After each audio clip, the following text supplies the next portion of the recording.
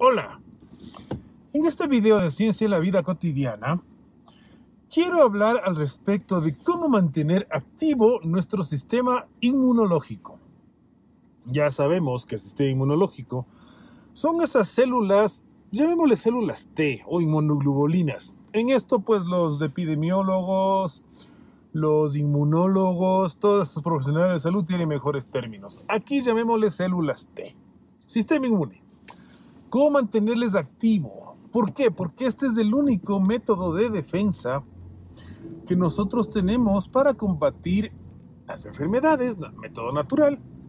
Y en el caso que nos compete en este año 2021, es por el, el famoso tema del SARS-CoV-2, para que no nos dé la COVID, o si es que tenemos contagio de COVID, que yo esperaría que no. Todavía no estamos vacunados, ¿verdad? Eh, pues no se nos complica el caso. Entonces la clave está en darle fuerza a nuestros soldaditos internos. El famoso sistema inmunológico. Bien, a ver, ¿qué, ¿qué está en mi control para darle fuerza al sistema inmunológico? Número uno, sueño. Sueño adecuado está establecido que esto de los ciclos del sueño más o menos tarda una hora y media, más o menos. 1.5 horas, un ciclo de sueño completo.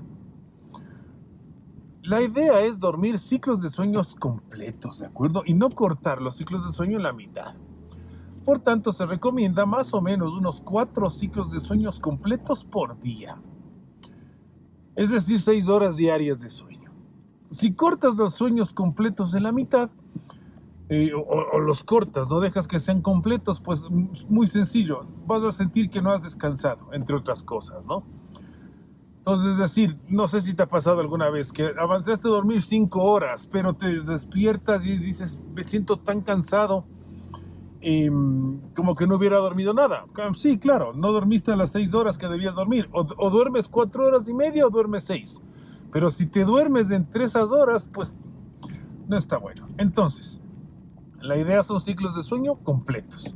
Intenta en tu día a día que duermas unos cuatro ciclos de sueño completos. Vale, perfecto, eso está bien. Luego, el tema del manejo del estrés, del manejo de las preocupaciones. La vida nos cambió definitivamente hace un año atrás con esto de que nos confinamos, de lockdown, y las medidas restrictivas de movilidad, teletrabajo, todo lo que tú quieras. Eso causa estrés. Estoy muy preocupado por todo lo que son los niños que van a la escuela, o que iban a la escuela, que están intentando volver. Bueno, de esto hablaremos en otro video. Es decir, tenemos una carga de emociones y le, ponemos bajo esta sola palabra estrés muy grande por esto de los confinamientos y etcétera. Vale, ¿Cómo combatimos esto? Una buena idea, de entre muchas que puede haber, es el tema de la respiración. Respiremos. Respiremos y seamos conscientes de nuestra respiración, conciencia plena de que estamos respirando.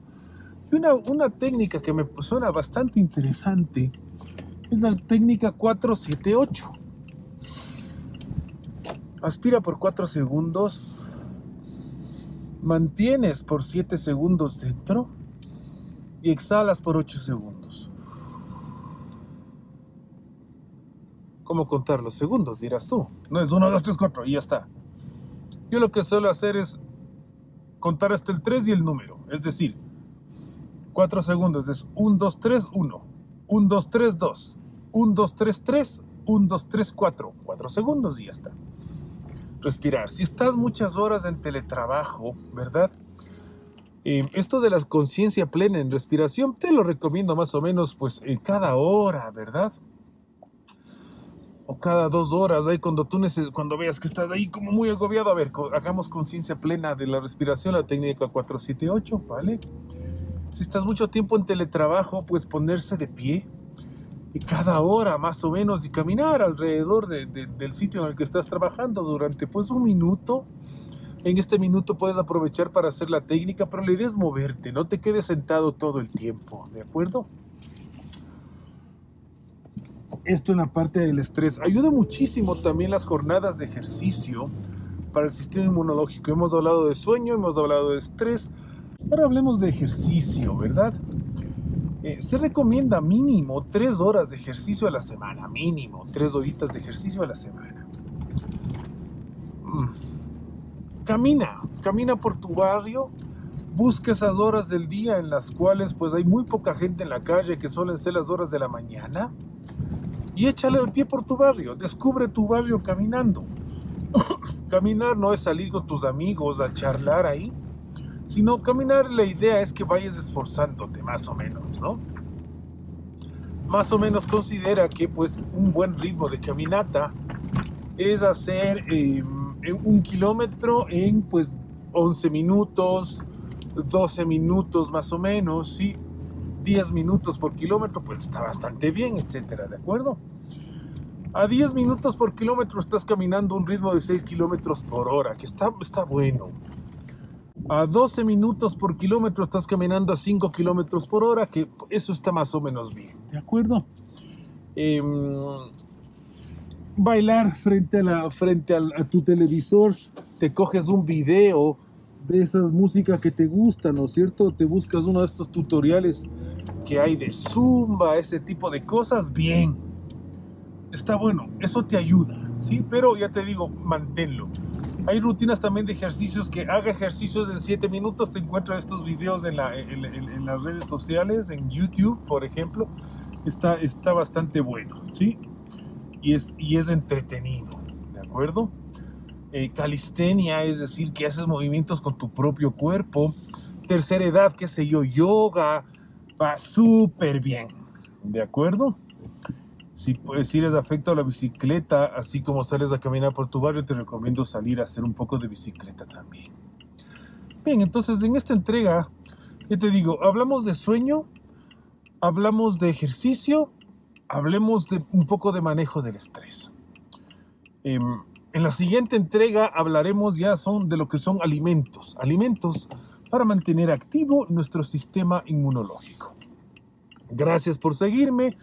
Eh, siempre te lo digo, si te gusta el contenido del canal, compártelo que otras personas también lo vean. Eh, y pues em, dale a suscribirte, a la, activa la campanita para que pues, puedas saber cuando subo videos. Esto ha sido una nueva entrega de Ciencia en la Vida Cotidiana.